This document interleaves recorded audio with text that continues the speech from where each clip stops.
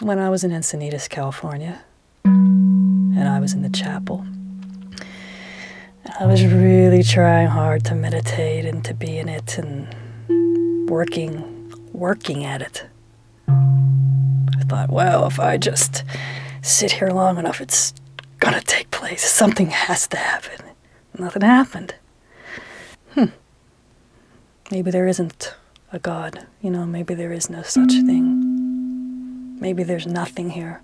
My ego sort of just said, there's nothing here. And suddenly, I wasn't in my meditation position. And I wasn't breathing or doing anything. Suddenly, whoa, whoa, whoa, this huge, big feeling of love.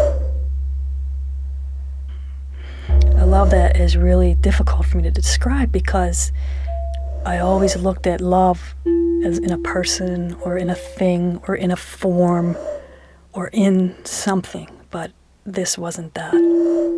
This was beyond Jesus Christ, beyond Paramahansa Yogananda, beyond the teachers of all the paths. It was just this feeling of love, filling of me with this love. It was like this romance that was just, I was intoxicated by this love. And I thought, oh my God, this, I've, I have flesh. This is love. This is it. This is what everybody is looking for. Oh, this is God.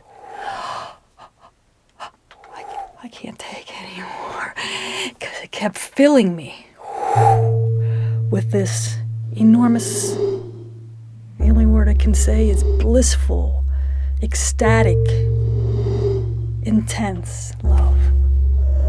And I thought, this can't end. This is just too big. So I sat there in it. I sat there in it for at least 15 minutes. And I thought, oh, wonderful. I'm in this ecstasy state. I'm going to be in this state for a very long time. And I remember that the chapel was about to close for the evening, and, it lasted, and then all of a sudden, I was back in the body, and I was like, like, where did where did you go? where did that love go?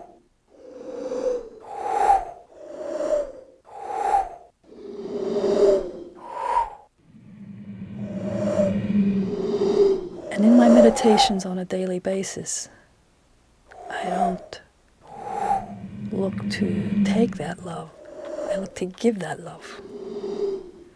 So when I meditate, I say, okay, it's if you'd like to show up, that's fine too, you know, and, and have that wonderful, blissful experience.